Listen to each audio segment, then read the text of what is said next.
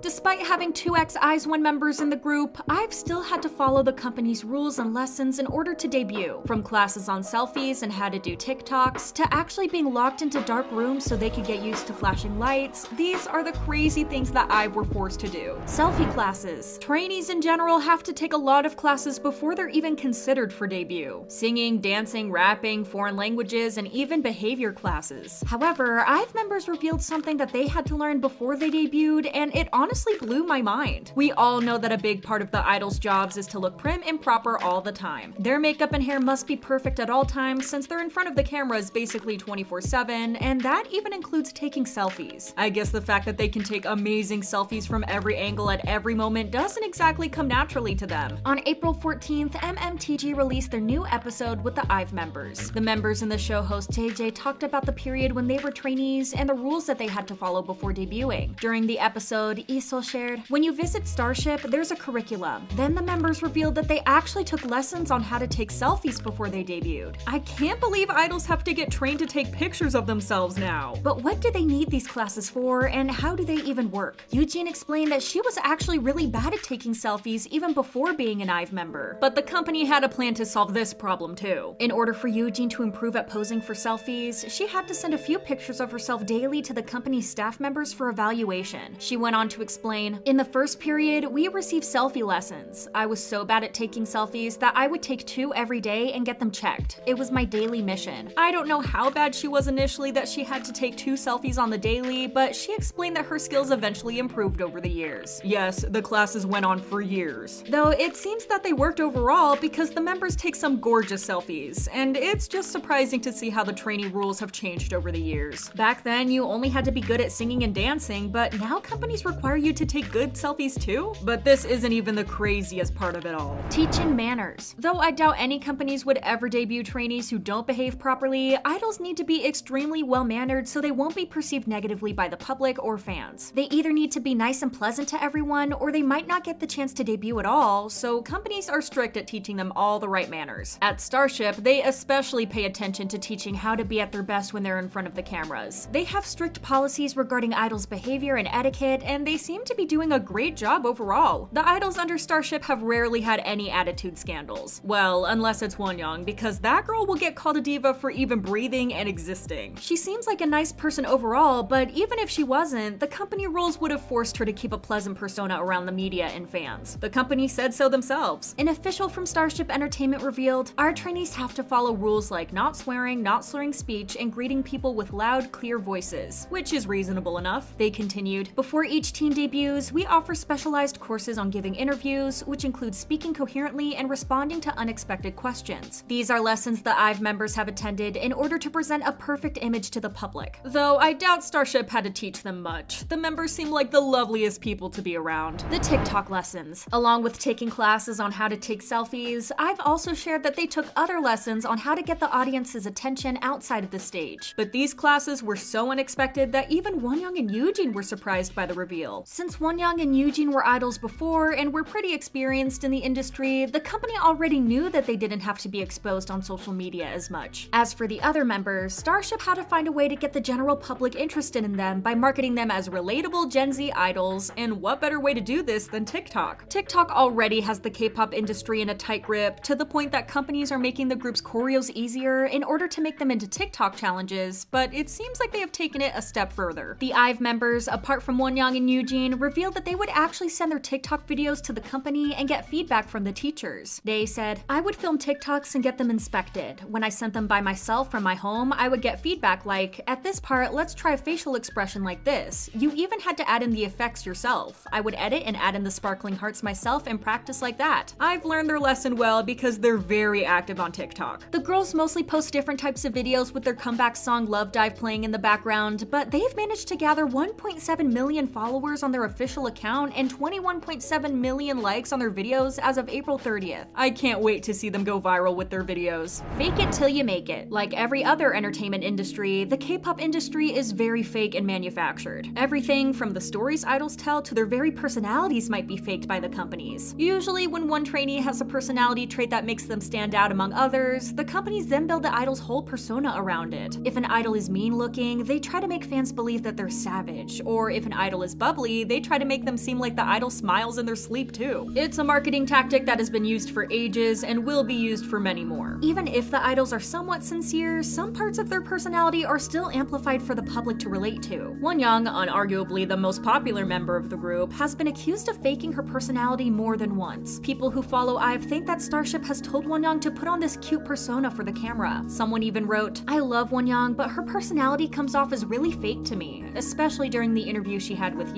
Yeri, Taeyoung, etc. She used Blackpink's fake Aegyo voice to act cute to other girls. It was so cringe. I don't know, I feel like she's faking her entire personality to come off cute. Based on this, people are also wondering what other IVE members have manufactured public personas by Starship, and whether the quote-unquote tight relationship between the members is all in the sake of appearing close for the fans and the public. What do you think of this? Secret information. Starship doesn't have the greatest record with faking stuff. Though it isn't as serious as faking entire personality traits or friendships between the members, Starship still keeps lying about certain aspects of their idols, and there are many proven instances. It's not unusual for companies to lie about the idols' ages, but none of them have ever been caught as often as Starship. It started when Bora, Hyolyn, and Soyou's fans found out that they have been celebrating their favorite idols' birthdays on the wrong date for seven whole years. It turns out that Starship changed their birth year and date so the members would seem younger in the eyes of the public. They also changed the birthdays of the Uju Sonya members to match the concept of the group. The Uju members each represent a zodiac sign, so if two members had the same sign, Starship would change their birthdays to fit another sign that was quote unquote empty. So, based on these instances, fans are wondering if every information presented to us by the company was 100% true. What if they're making the members change their birth years to appear younger or older? Especially since there was that whole controversy with Leeseo being too young to debut. What if she's even younger, but Starship changed her public age to 14 so she would appear older and get less backlash? There's also always been suspicions that Wonyoung isn't actually fully Korean. These suspicions started ever since she was a Produce 48 contestant and her profile was released to the public for the first time. Wonyoung had stated that she was part Taiwanese. Her name was even listed as Chung Yuanying. The rumors got spread even further once a Taiwanese media outlet posted an article about her saying that her father was Taiwanese while her mother was Korean. The rumors were never addressed, and it's no surprise that Starship is avoiding talking about them even now. Considering the tension between South Korea and China, it wouldn't be the smartest move if Starship just declared that the most popular member of their most popular group is actually half Taiwanese. This has made fans believe that Starship is making Wonyoung stay private about her family and roots as much as possible. I mean, can you name literally anything about Wonyoung's private life, other than some very small unnecessary details? Though this might be the smartest thing that Starship is making her do. The poor girl gets too much hate as it is. Imagine how much netizens would escalate the situation if she was actually exposed to be Taiwanese. I don't know if she would be able to handle it. In your opinion, what's the craziest thing IVE were forced to do in order to debut? Share your thoughts in the comments. Thank you for watching and see you next time. Bye!